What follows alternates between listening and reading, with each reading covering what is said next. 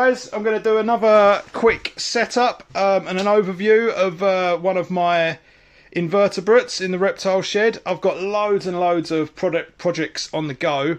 Um, we've got our, uh, Hermann's tortoise Daisy. She'll be coming out of hibernation soon, so I'm halfway through making her a run. I've still got the enclosure behind this one that I'm finishing, and I've got um, some other cool stuff in the pipeline as well. But this is just a quick one. My blue leg centipede, um, Ethmostigmus trigger. Oh, what is it? Trigonopodus. Um, is well overdue a uh, a re a refit in her Exoterra. So I've cleaned the Exoterra out and I've done a quick and dirty um, Gorilla Glue background on there. Um, it's been a background um, process that we've done for years and years and years. So I didn't film the, the process, but basically I score the glass up a bit with some rough sandpaper. You can use a silicon base as well, but I score the glass up with silica um, with a sandpaper, and then I um, I put the Gorilla Glue on quite thick, give it a little spray with water to start the expanding process, and then I dump on a load of well a mix of eco earth, sphagnum moss, and just, just that kind of thing to give that natural kind of earthy look. And then I every now and again I pop back and I press on bits just to give it a little bit of shape, which is what I've done now. You see, I've I've uh, created some kind of vertical lines and bulges and stuff like that. Anyway, let's get to the uh, substrate layer. Substrate for this girl is uh, it's missing one vital component um, but it should be okay because I've, I've, got some in the old in the old uh, substrate and stuff down there. So we have got uh, cocoa fibre, which is going to be the bulk bulk of it. I've got some play sand. I've got orchid bark and I've got some Irish moss peat. So I'm going to mix all this up together. We also have some leaf litter and somewhere we've got some sphagnum moss. So let's mix all that together and chuck it in the enclosure. So this this species of centipede can be found in tropical climates, uh, also going ranging all the way down to sort of drier climates as well in Africa. So I'm going for a tropical mix. That's how I've kept her for years, years and years. Um, and uh, she's done really well. She's she's laid eggs um, and looked after her eggs. Um, they didn't hatch because she wasn't bred, but uh, um, she wasn't, you know, paired up with a with a male or anything like that. But um, yeah, I'm assuming she's a a happy little centipede. So the sand's going to help it bind a little bit because she is going to burrow um, and she's going to dive down and, and, make her own little ecosystem. Uh, the orchid bark's helping for the aeration of the soil and then our, our cocoa fibre and our uh, uh, Irish moss peat are kind of like our bulk uh, soil kind of stuff. So, what else have we got in here? We've got some sphagnum moss I'm going to chuck in.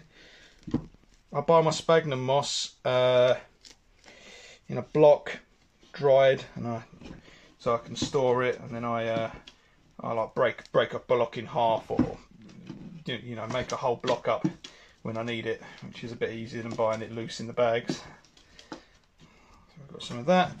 And we're going to chuck in a little bit of leaf litter. The majority of our leaf litter is going to be sitting on the top as well, which will help her feel a little bit more safe and secure before she starts to make burrows and knows exactly where she's going. So that's just going to help our soil deteriorate into our soil and start the whole bioactive process and gives some of our insects something to munch on as well. Okay, next up, decorations and planting. So what I'm going to do is I want this area here to be, uh, to have a plant. So what I'm going to do is I'm going to raise the area up just slightly and create this kind of pocket for the plant to be in. The plant I'm using is a Philodendron scandens.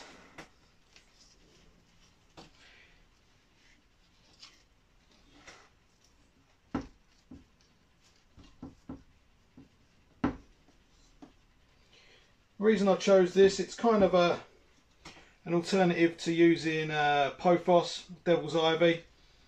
Uh, it grows equally as well. Uh, it tolerates a bit of low light. I'm not going to light this really heavily. Um, so it tolerates a bit of low light.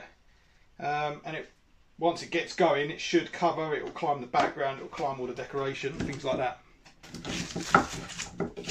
So my idea for this enclosure is to kind of make a bit of a, a root, coming a bit of a root um, tree. So I've cut these pieces of branches from a from an old root ball that I use in the reptile room.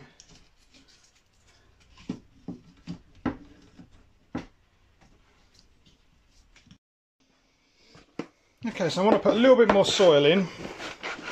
Building up that back corner has uh, taken away some of the soil at the front that I wanted to use.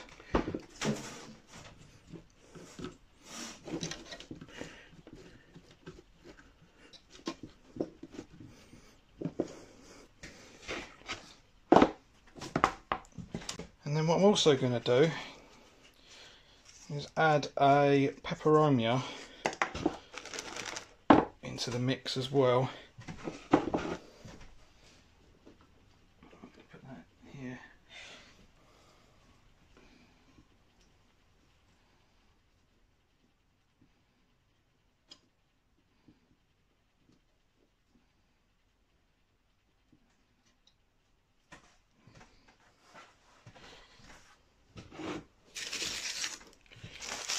And to finish it up, add some big leaves.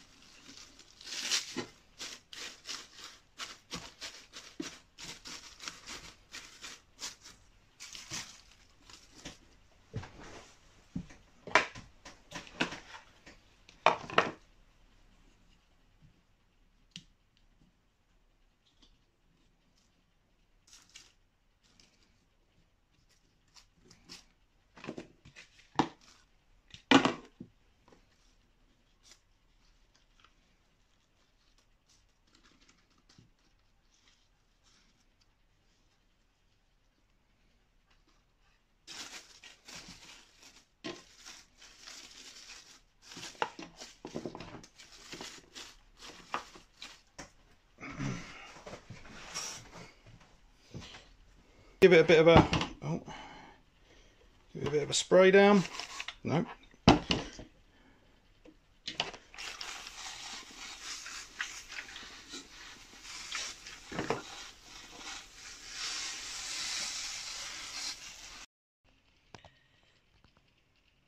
Okay, so I'm quite happy with how that's looking. We're now just going to add our springtail colony. Gonna tap some of them in. Oh my god, that's more than enough. I'll give them something to do, innit? And last thing to do is add some woodlouse. This is a mixture of orange and grey. I prefer it to just be tropical grey. The orange don't really do too much for the uh, for the actual ecosystem of the tank, but they breed like wildfire here in the uh, in the shed, so I can't grab tropical greys without getting a few oranges in there as well. They are pretty cool though. There we go. Now, let's go and get a centipede. Okay, so here is my Tanzania blue-legged centipede. As you can see, uh, she's got a bit of length to her. Adults can get to about 15 centimetres. This is a girl. Um, so uh, I've actually seen her lay eggs uh, and cradle them. Um, but because they weren't fertile after a couple of weeks, uh, she discarded them. Um, so, uh, as the name suggests, they can be found in Tanzania, um, also the Congo and Sudan in Africa.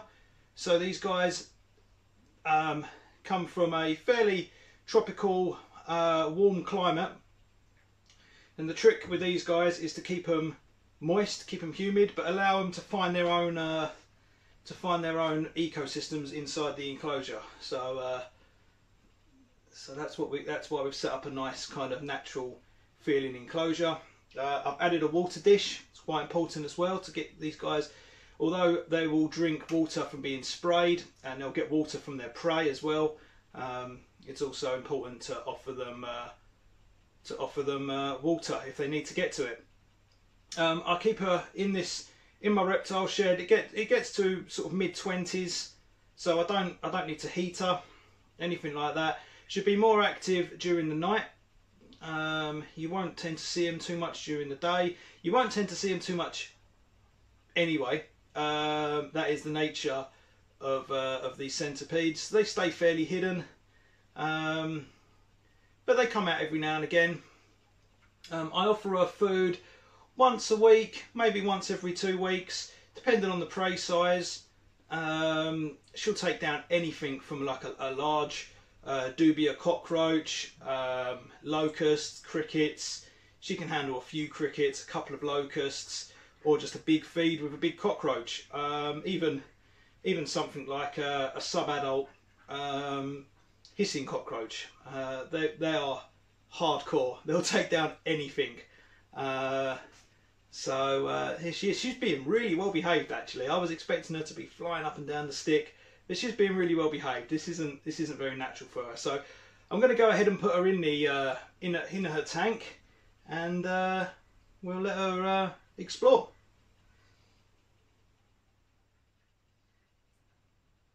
Now you now you're on the move.